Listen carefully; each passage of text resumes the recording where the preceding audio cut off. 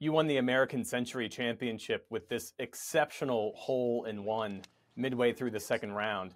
What was going through your mind, and, and how does the pressure of sinking an eagle putt compare to sinking a buzzer beater in the NBA?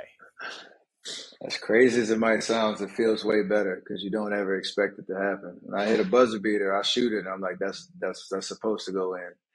Um, so yeah, it was it was definitely a thrill. Golf's been a huge part of my life as well, but to uh, yeah, everybody wants your hole in like everybody wants a hole in one. If you play golf, everybody wants that experience, but you also want it on film too. That's like the second ask, and I got I got both, so that's uh, that's special.